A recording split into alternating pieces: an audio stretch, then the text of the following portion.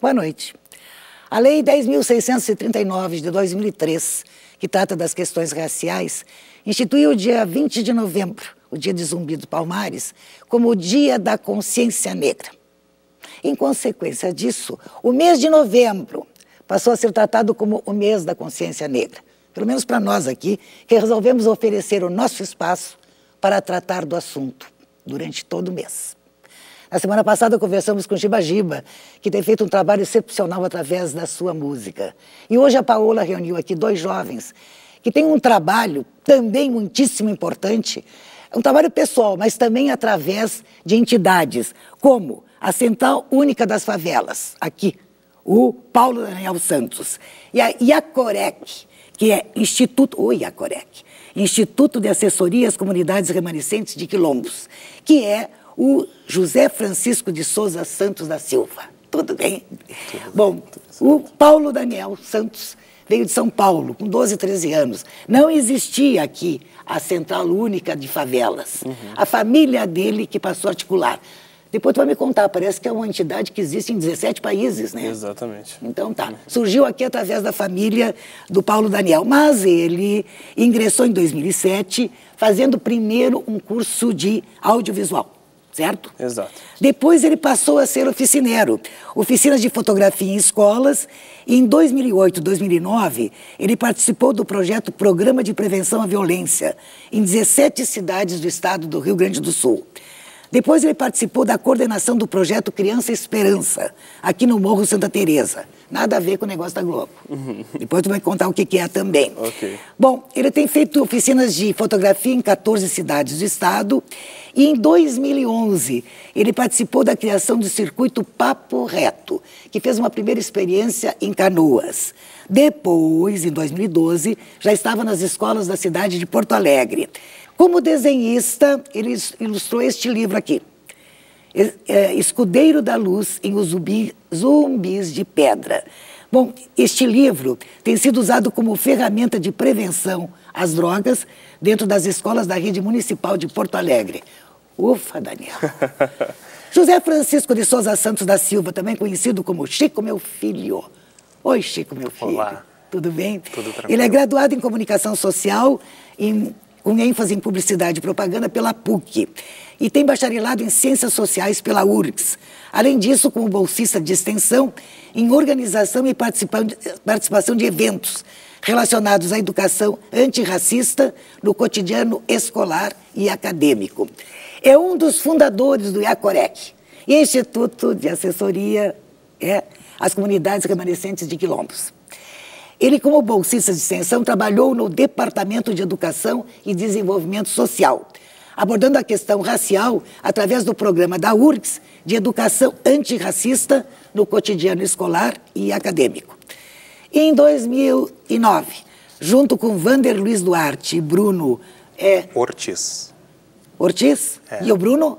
É o Bruno, Bruno, o Vander Luiz Duarte e o Bruno Monlor Ortiz. Isso. Isso. Eles criaram a Escola da Vila, que de repente os jovens, os alunos, chamam de Escola da Vila, que aborda questões raciais e sociais dentro das escolas.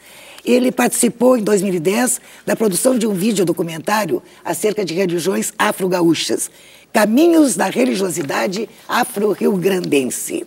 Pois é, mas como ele tinha feito um documentário sobre religiões e como ele era interessado em ritmo, em escolas de samba, etc., ele resolveu conhecer imperadores do samba. Foi, conheceu e ficou.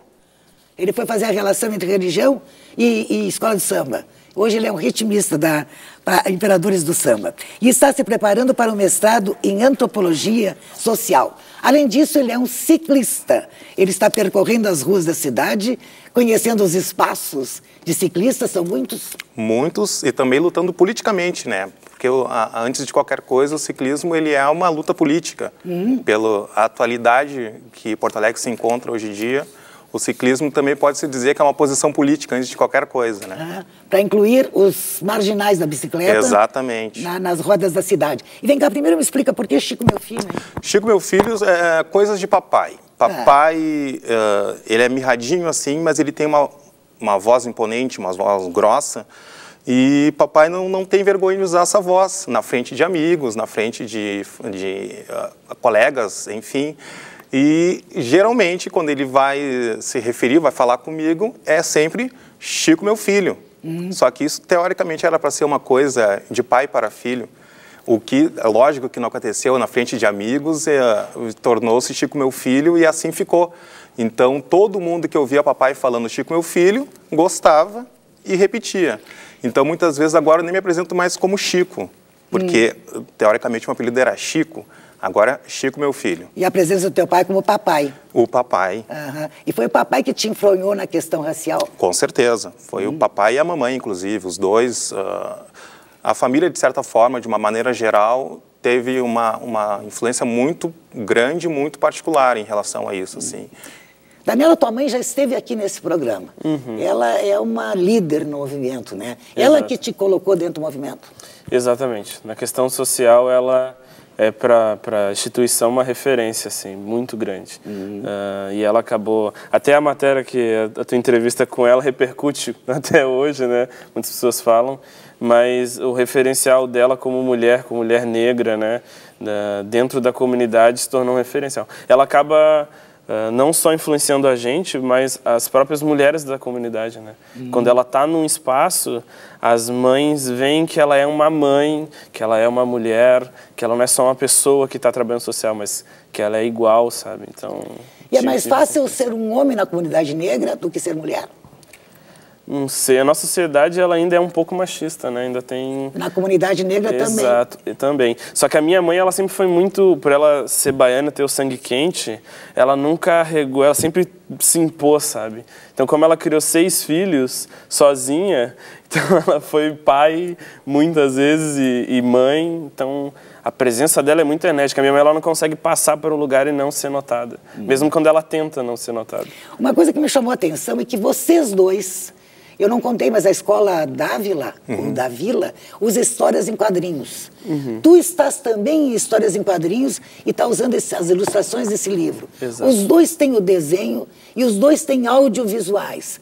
Como é que aconteceu isso? Que importância tem o audiovisual e o desenho nesse trabalho de vocês, de conscientização? No meu caso particular, uh eu não criei a história, a história em quadrinhos, ela não foi criação minha, assim, né? Ela foi criação do, do hoje professor Vander, que é um, um grande amigo, que olhou para mim e falou, cara, tu, tu tem ótimas criações, tem ótimas ideias, vamos pensar em alguma coisa junto, a possibilidade de se trabalhar alguma coisa junto.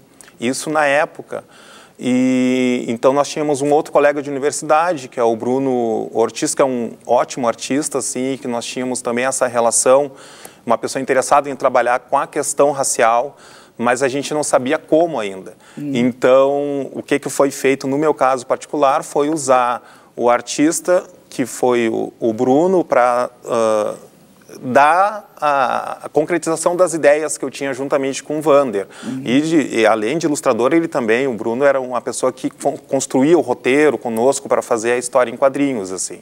Então, no meu caso... O texto é teu? O, o, na realidade, foi tudo junto. Uhum. É, eu, não, eu, não, eu não consigo...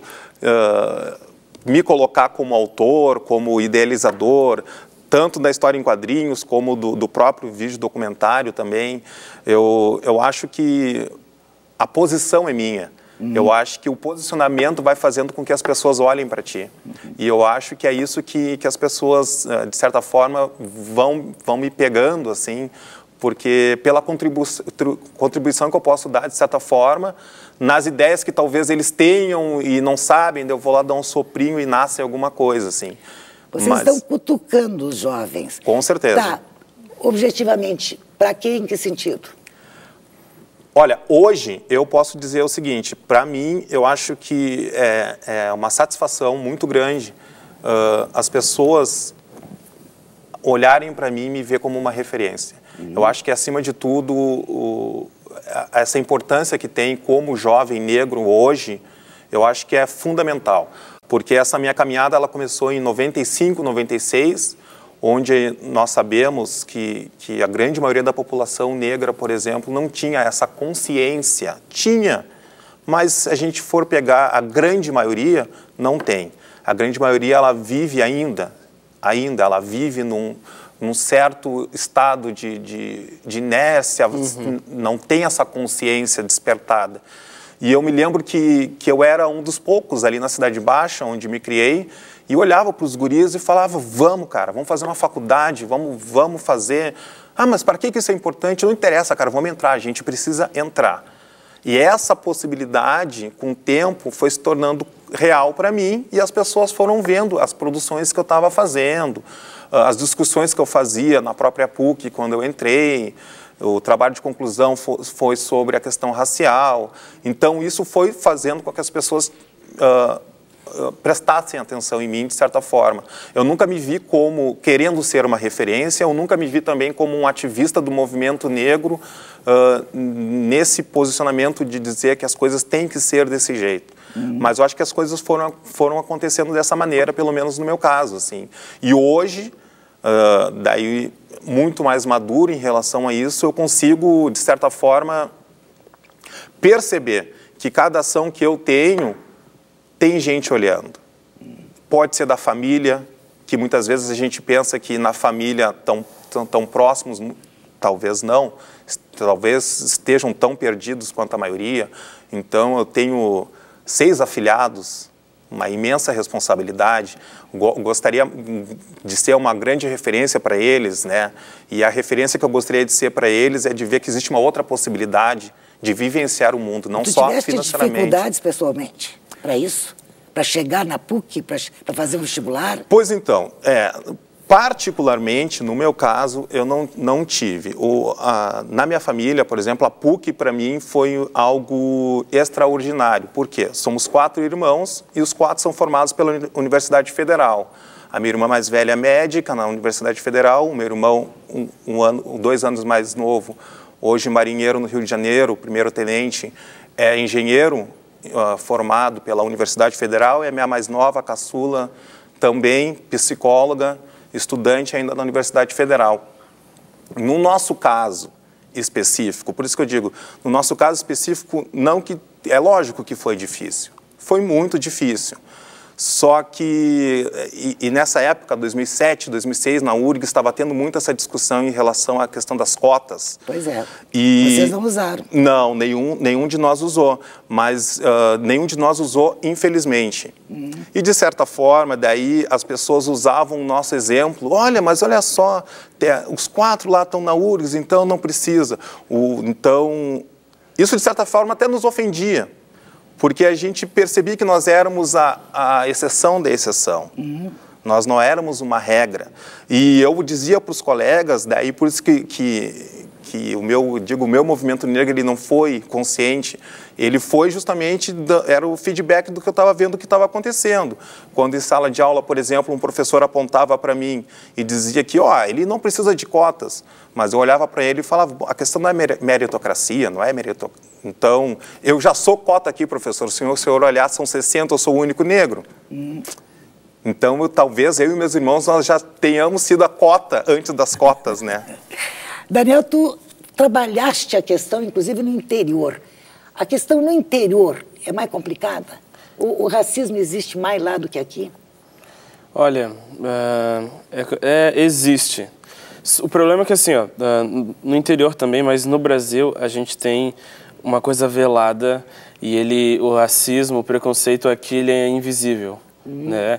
Diferente de outros lugares, de outros países, que você sabe quem as pessoas deixam claro de como elas se sentem com relação a outras etnias. Aqui no Brasil não, aqui é meio, sabe, você vai sentindo. Tu está dizendo Brasil, mas eh, não é diferente o Rio Grande do Sul da Bahia, por exemplo? Sim, no Rio Grande do Sul, o que acontece? Uh, tem bastante tem preconceito como tem em outro lugar, mas é que o povo gaúcho ele é muito fechado.